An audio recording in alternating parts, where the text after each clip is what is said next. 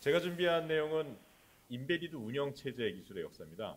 제가 또 역사를 얘기할 만한 그런 경륜이나 경험이 많지는 않고요. 어, 어쩌다 보니까 embedded 운영 체제를 다루는 기업에서 일을 했었고 또 지금 embedded 소프트웨어 분야에서 연구를 하고 있기 때문에 준비를 좀 해봤습니다. embedded 시스템은 전통적으로는 real-time 시스템이라고 보는 게 맞고요. 어, 국내외에서 혹은 유럽에서 미국에서는 real-time 소프트웨어는 real-time operating system을 하는 그러한 기술들이 embedded 시스템 시장을 선도했었습니다. 그러다가 consumer electronics라고 하는 이 제품들의 운영체제 기술이 그대로 이어져서 쓰이기 시작하면서 embedded 소프트웨어 시장이 우리한테도 의미가 있게 생겼죠. 어, 근데 이제 아쉬운 것은 전통적인 embedded real-time 시스템 시장, 소프트웨어 시장의 기술들이 우리나라에서는 전무했었다라는 것이 좀 아쉬웠던 어, 거였고요. 어, 제가 어, 몇 가지 어, 기존의 어, embedded 소프트웨어 관련해서 전 세계적으로 있었던 그러한 history를 좀 간략하게 설명드리겠습니다. 자동차의 embedded 시스템이라고 하는 전자제품, 다운 전자, 그러니까 전자회로 같은 어, 제대로 된 그런 시스템이 들어가기 시작한 게 1969년 마이크로 프로세서가 폭스바겐 차에 들어가기 시작했을 때부터라고 합니다. 몰랐습니다, 저도. 근데 이렇다라고 합니다. 마이크로소프트라는 회사는 1975년에 생겨났습니다. 마이크로소프트는 어, 데스크탑 운영 체제를 주로 어, 만드는 그러한 회사인데 왜 이 마이크로소프트가 embedded 시스템의 중요한 그런 그 역할을 하고 있냐면 어, 마이크로소프트의 Windows CE라는 것을 만들면서 어, portable device의 OS 시장을 어, 굉장히 많이 비중 있게 차지하기 시작을 했었죠. embedded real-time 소프트웨어에 사실 어, 큰 족적을 남긴 기업은 어, 윈드리버라고 하는 회사입니다. 미국의 회사고요. 아마 윈드리버라고 하는 회사를 embedded 시스템에 관심을 갖고 계셨던 분들은 다 알고 계실 텐데 미국의 웬만한 어, avionics, 그다음에 defense system, 어, 자동차 이런 데도 굉장히 많이 들어갔던 그런 operating system입니다. 그래서 이 VXWorks라고 하는 게 어, embedded 소프트웨어 역사에 있어서는 가장 중요한 역할을 했었죠. VXWorks가 어, 1997년에 패스파인더라고 하는 화성 탐사 어, 로봇 화성 탐사 자동차 에 들어가기 시작하면서 또 굉장히 큰 어, 유명세를 타기 시작을 했었죠. 1997년에 어, 윈드리버의 VXWorks가 패스파인더에 들어갈 때 나왔던 어, 알고리즘이 real-time scheduling 알고리즘 중에 priority ceiling protocol이라고 하는 알고리즘입니다. 그 다음에 그런 알고리즘들이 어, 이제 교과서에 들어가기 시작하면서 real-time 시스템이라고 하는 분야가 어, 굉장히 발달하기 시작을 했습니다. 그러다가 wireless, wireless 제품, 즉 휴대폰에 어, OS가 들어가기 시작하면서 embedded 소프트웨어 전성기를 맞이하게 됩니다. 1992년에 미국에서 만들어지는 휴대폰에 이제 OS다운 OS가 들어가기 시작을 했습니다. 당시 OS의 이름은 real-time OS로서요. REX라고 하는 OS였습니다. 퀄컴이 만든 real-time OS고요. 어, 퀄컴의 칩 위에만 돌아가는 OS이긴 하지만 어, 사실 그 Cyclic Executive라고 하는 형태로 timely한 그런 execution을 주로 하기 위해서 만든 그런 OS였는데 어, 그렇게 계속 OS가 쓰이다가 터치 스크린이 되는 handheld device에 소프트웨어가 들어가기 시작하면서 갑자기 어, embedded 소프트웨어가 일반 OS 흉내를 내기 시작을 했죠. 그러니까 일반 OS의 기능이 들어간 그런 OS가 embedded 시스템에 들어가기 시작을 했습니다. 그러한 분위기에 편승해서 급기야 1996년에 Windows CE 1.0이 나오기 시작을 했죠. 1969년부터 1996년까지가 어, 전기 embedded 소프트웨어라고 부를 수 있는 그런 시대라고 보면 되겠습니다. 즉 제대로 된 embedded 그러니까 운영 체제가 embedded 시스템에 들어가기 전 단계라고 보면 되겠죠. 마이크로소프트가 1975년에 탄생했는데 1996년에 embedded의 눈을 돌리게 됩니다. 그러면서 Windows CE가 나오기 시작했죠. 우리나라는 어땠을까? 이 기간 동안에 우리나라의 기술은 과연 embedded 시스템 쪽에서 어땠을까? 라고 하는 생각을 해보면 아무것도 없었다라고 보는 게 맞습니다. 즉 기술도 없었고 시장도 없었죠. 즉 우리나라 내부에서 시장도 없었을 뿐만 아니라 어, 외부에 내보일 수 있는 그러한 기술도 전혀 없었던 그런 시장이라고 보면 되겠습니다. 어, 민간 기술로 이전된 굉장히 많은 기술이 미국의 국방이나 아니면은 그 항공 쪽에 그런 그 어, 기술에서 비롯되었다고 생각을 해보면 굉장히 아쉬운 그러한 역사라고 보면 되겠습니다. 그러다가 1999년 리눅스가 embedded 시스템에 들어가는 최초의 사건이 어, 일어나기 시작을 합니다. 이때가 이제 어, 처음으로 embedded 리눅스라고 하는 말이 예, 나오게 세상에 나오게 됐죠. 어, 굉장히 많은 사람들이 embedded 시스템에 왜 리눅스를 넣냐, 어떻게 리눅스가 embedded 시스템에 들어갈 수 있느냐라고 의심, 의구심을 가질 때 리눅스를 하던 어, 그냥 오픈 소스 개발자들이 ARM CPU에다가 리눅스를 올려갖고 소스 코드를 공개하기 시작을 합니다. 그 프로젝트가 ARM 리눅스라고 하는 프로젝트였습니다. 그렇게 오픈 소스로 공개를 하면서 ARM CPU에 어, 펭귄이 나오고 커서가 나오는 그런 리눅스가 돌아가기 시작하네 라는 그런 확인을 하면서 어, 리눅스를 기반으로 한 embedded 시스템의 전성기가 열렸고요. 불과 10년도 안 돼서 애플의 아이폰이 나오는데 이때는 이미 리눅스가 네트워크 장비 거의 100%, 그 다음에 모바일 device에 어, 굉장히 많은 수에 들어가기 시작했던 때입니다. 어, 그래서 어, 모바일 device를 중심으로 한 embedded 소프트의 전성기라고 보면 되겠죠. 2008년 안드로이드가 본격적으로 시장에 나오기 시작하면서 이제 안드로이드의 기반 리눅스이기 때문에 리눅스를 기반으로 한 embedded 소프트웨어가 전 세계 시장을 주름잡기 시작을 했습니다. 그리고 이 이후에 2010년 이후에 나온 디지털 TV는 전량 리눅스가 들어가기 시작을 했고요. 셋탑박스뿐만이 아니라 어, 요즘은 이제 시계에도 아, 아이폰의 iOS 아니면 리눅스가 들어가는 그러한 상황이 됐습니다. 그럼 또 이제 우리나라를 어, 생각을 해봐야 되겠죠. 네, 우리나라의 상황 어땠을까? 아, 사실 이 기간은 한마디로 얘기하면 리눅스가 인베리드 마켓을 재정의했다라고 보는 게 맞을 겁니다.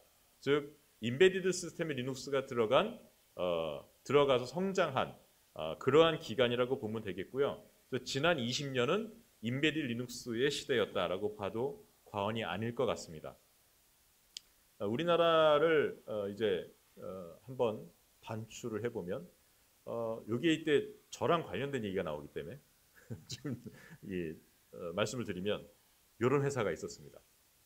팜팜테크라는 회사였는데요. 팜팜테크와 미지 리눅스라는 회사가 있었습니다.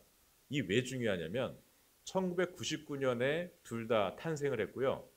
리눅스를 embedded 시스템에 넣고자 하는 일을 했었던 우리나라의 두 개 회사입니다. 어, 그래서 상당히 많은 영향을 발휘하고 있었고요. 어, 그래서 팜팜테크와 미지 리서치라고 하는 두 개 회사에 거는 기대가 어, 우리나라 embedded 시장에서는 굉장히 컸었습니다. 어, 저는 팜팜테크의 기술 팀장을 맡고 있었고 어, 이제 그때 리눅스를 어, 줄여갖고 저전력으로 만들어서 굉장히 많은 device에 넣는 프로젝트, 시제품 프로젝트를 했었죠. 어, 그렇게 하다가 미지 리서치가 어, 윈드리버에 합병이 됩니다. 이게 굉장히 큰 사건인데요. 어떻게 보면 우리나라의 소프트웨어 기업으로서 굉장히 성공적인 케이스 중에 하나가 아닐까 저는 이렇게 생각을 합니다. 어, 의미 있는 인수합병이 일어난 소프트웨어 회사로서는 그러한 어, 음, 굉장히 몇 몇 안 되는 그러한 사건이었고요. 그러면 제가 있었던 팜팜테크는 어떻게 됐느냐? 망했습니다. 문 닫았고요. 예. 어, 한때 총원 80명이 넘는 회사였고 중국, 유럽, 미국, 한국의 스마트폰 프로젝트를 하고 있었고요. 어, 그리고 미국의 어, 모바일 단, 모바일 포스 단말기에 직접 리눅스를 공급했었는데 어, 아쉽게 망했고요. 미지 리서치는 아, 꾸준히 아, 삼성전자의 어떤 용역 프로젝트를 하면서 어, 생명을 어, 영위하고 있었죠. 어, 그래서 윈드리버가 어떤 일이 있었냐면 2007년에 아 이거 큰일 났다. 시대는 리눅스 시대인데 우리는 계속 아, 기존의 RTOS를 하고 있구나 라고 생각을 하면서 집중적으로 전 세계 리눅스 솔루션 기업을 인수합병하는 작업을 시작을 합니다. 그래서 두 개의 리눅스 기업을 인수합병을 했고요. 그 중에 하나가 영광스럽게도 대한민국의 미지 리서치였습니다. 그래서 지금 아직 잘 알려지지 않은 그런 역사일 수도 있는데 그래서 당시에 미지 리서치에 어, 있었던 그런 초기 멤버들은 어, 돈을 많이 벌었고요. 어, 어디 밥 얻어 드신 분 안 계신 것 같은데. 네, 그렇습니다. 아, 그러한 윈드리버는 인텔이 인수합니다. 그러면 그 당시에 미지 리서치는 지금 인텔이라고 보시면 되겠죠. 어, 그래서 우리나라에 어, 인베리드 리눅스를 했던 기업 중에 대표 기업 두 기업이 있었고 이러한 역사가 있었다라는 게 어, 재미있는 사실이고요. 어, 또 하나의 또 중요한 어, 또 역사가 있습니다. 사실 embedded 소프트웨어를 했던 역사가 우리가 좀 많지가 않기 때문에 몇 안 되는 역사가 되게 재밌는 역사가 많은데 서울대학교 홍성수 교수님 연구실에서 ARX라고 하는 어, 자체 real-time OS를 만든 적이 있어요. ARX라고 하는 거는 정말 순수하게 스크래치로 리얼타임 OS를 만든 거였습니다. 어, multi-thread 기반의 real-time OS를 만들어서 학교 프로젝트로 했었고요. 요걸 그대로 MDS가 인수를 합니다. 한컴 MDS고요. 지금은 왜냐하면 한글과 컴퓨터가 또 MDS를 인수했거든요. 당시에 한국 MDS는 우리나라의 embedded 장비에 어, 굉장히 많은 비중을 차지하고 있던 그런 기업입니다. 왜냐하면 어, 트레이스 30이라고 하는 휴대폰에 없어서는 안 되는 디버깅 장비를 우리나라에 독점 공급하던 회사였기 때문에 어, 연 300억, 400억씩 남기는 그런 회사였습니다. 지금은 이 시장이 다변화돼서 그렇게 아주 재미가 있지는 않겠지만 어, 그래서 embedded 시스템 쪽에서는 우리나라에서 꽤 잘하던 그런 기업이었는데요. 이 기업이 어, real-time OS 연구실에 소스 코드와 모든 기술을 인수를 합니다. 그래갖고 네오스라고 하는 어, 우리나라 최초의 상용 알토스를 만듭니다. 이 네오스라고 하는 수, 상용 알토스는 지금 항공기에 들어가는 그런 OS로 사용이 되고 있고요.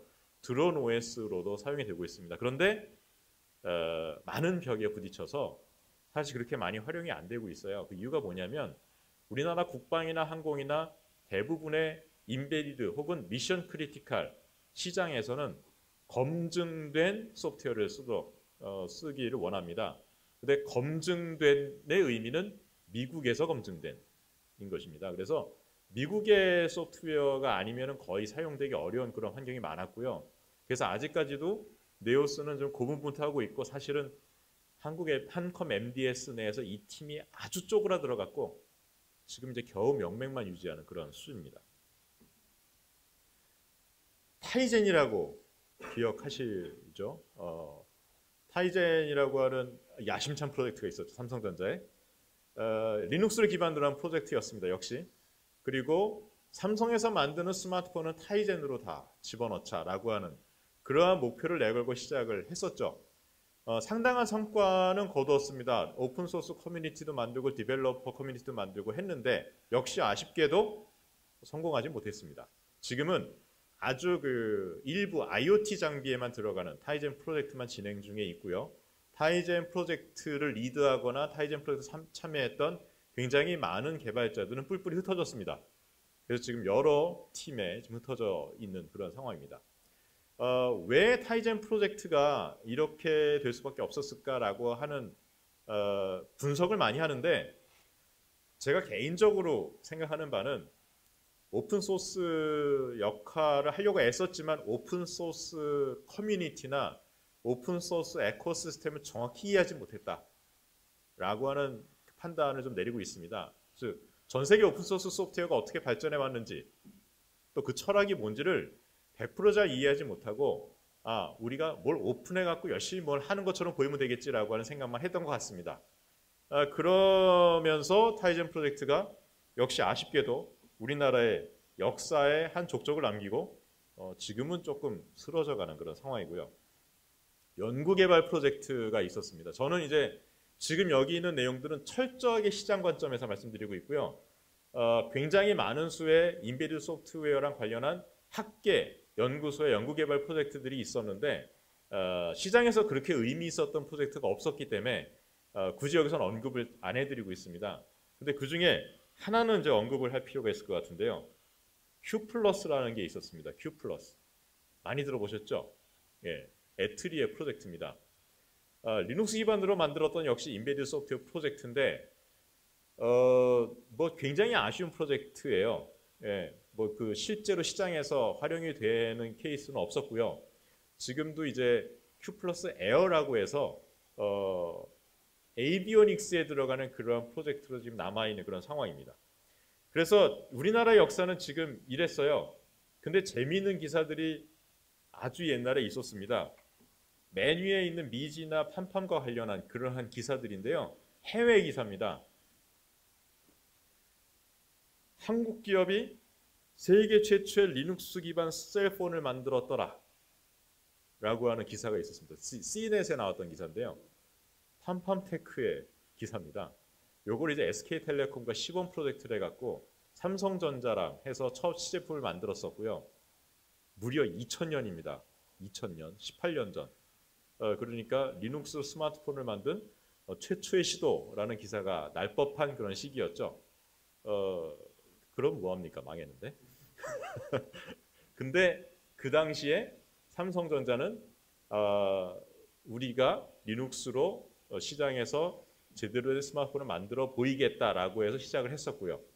근데 이 프로젝트가 드랍되는 바람에 어, 경영진의 결정으로 드랍되는 바람에 사실 세계 최초의 의미는 없어져 버리고 어, 이제 나중에 삼성전자는 후발주자로서 안드로이드 스마트폰을 만들게 됐습니다. 미지 리서치가 리눅스를 PDA에 넣는 developer kit을 만들었다라고 하는 기사입니다. 2002년에 무려 2002년에 이 당시에 PDA에 리눅스 넣는 그러한 또 프로젝트가 많이 진행됐는데 미지 리서치의 PDA 버전의 리눅스는 굉장히 깔끔하고 성능이 좋았던 걸로 유명했었습니다. 어, 근데 이제 그 당시에 어, 샤프가 일본에서 자우루스라는 PDA를 만들면서 일본 전체 리눅스 커뮤니티의 도움을 받아갖고 PDA를 출시하는 바람에 묻혀버렸었죠. 어, 그 후에 2008년 윈드리버가 미지를 인수했다라고 하는 뉴스가 나왔었습니다. 어, 결국 이제 미지 리서치는 어, 10여 년의 그러한 비즈니스 끝에 어, 성공적인 엑시스를 하는 그러한 상황이 됐었죠. 요게 2011년 인베리드 OS 마켓 시장 점유율을 보여주는 어떠한 조사기관의 표인데 어, 전부 이제 외국 거다라는 거죠. 어, 그리고 이 시장 점유율이 그대로 우리나라에 적용이 계속되고 있었습니다. 그러면 이제 새로운 트렌드가 어떨까? 2010년 이후에 대해서 말씀을 드리면 이거 간단하게 말씀드리고 마치겠습니다. 어, 조그만데 뭐 automobile, train, airplane, 로봇, 자동차, 어, 뭐 전자제품, 그 다음에 온갖 종류의 medical device, 헬스케어, 어, embedded 소프트웨어 범위가 무지하게 확대됐다라고 하는 거죠. 근데 그러면서 아주 희한한 트렌드가 생겼습니다. embedded 소프트웨어가 그냥 standalone OS로 쓰이는 것이 아니라 버추얼라이제이션을 꼭 써야지만 embedded 소프트웨어를 쓰는 그런 환경으로 발전이 되기 시작을 했습니다. 어, 그래가지고 자동차 소프트웨어를 기점으로 해서 virtualization, 즉 어, hypervisor라고 하는 소프트웨어를 embedded 소프트웨어의 범주에 넣고 개발을 하는 그런 업체들이 많아졌죠. 아까 보여드렸던 어, 글로벌 인베리드 OS 마켓의 선두 주자들 이 주자들이 윈드리버를 포함해서 전부 다 hypervisor를 지금 주 product 중에 하나로 가지고 있다는 게 어, 굉장히 큰 특징입니다. 이렇게 하게 되면 기존에 우리가 VMware나 아니면은 데스크탑 혹은 Xen과 같은 서버용 hypervisor랑 뭐가 달라야 되느냐라고 하면 이런 점이 달라야 됩니다. 어, 기존의 서버용 하이퍼바이저가 기능적으로 virtualization 기능을 제공한다면 어, 실제로 embedded 시스템을 위한 하이퍼바이저는 시간과 safety 측면에서 버추얼라이제이션의 가장 그 큰 장점들을 보완해야 된다, 제공해야 된다라고 하는 그런 어, 특징이 있고요. 어, 그래서 아 그러면은 우리나라도 embedded 시스템 시장에서 버추얼라이제이션 혹은 하이퍼바이저쯤은 하나쯤 우리 기술로 만들 수 있지 않았, 않았을까라고 하는 이제 아쉬움도 좀 있는데요. 지금은 시장이 이미 성숙해가지고요. 어, 엔비디아는 자동차에 들어가는 자기네 그 CPU에 하이퍼바이저를 어, 영국의 회사를 인수합병해서 자체 기술로 만들었습니다. 어, 윈드리버는 하이퍼바이저만 만드는 조그만 스타트업을 인수합병해서 역시 자체 hypervisor를 만들고 있고요. 그래서 embedded 소프트웨어의 hypervisor의 기능이 어, 비중이 굉장히 높아지고 있다는 거고 또 하나의 특징은 embedded 소프트웨어가 그냥 작은 장치에만 들어가는 소프트웨어로 그치지 않고 이제는 IoT의 ecosystem을 구축하는 그러한 방향으로 발전하고 있다라고 하는 게또 어, 하나의 트렌드의 한 특징이 될 수 있겠다라고 어, 생각이 됩니다. 앞으로 얘기는 제가 별로 안 했는데요. 어, 또, 어, 또 하나 또 제가 말씀드릴 수 있는 것은 embedded 소프트웨어도 역시 어, 아쉬움의 역사였다라는 결론인 것 같습니다. 어, 제가 이제 마무리로 어, 한번 어, 얘기를 하고 싶은 거는 embedded 소프트웨어 혹은 이제 시스템 소프트웨어죠. 컴퓨터 시스템 전체 소프트웨어 이쪽 분야에 우리가 여전히 꿈을 가질 수 있을까? 한번 꿈을 가지고 우리 다음 세대의 컴퓨터 시스템을 하는 우리 학생들이 뭔가 한번 해볼 수 있는 그런 모티베이션을 주거나 아니 우리가 뭔가 기회를 줄 수 있을까라고 하는 거를 어, 지금까지 우리가 시장이나 연구를 끌어온 여러 기성세대의 입장에서 한번 생각해봐야 되지 않을까라는 어, 그런 어, 어, 생각이 좀 듭니다. 요 말씀을 드리면서 인베리드 운영 체제에 대한 얘기 여기서 마치겠습니다. 감사합니다.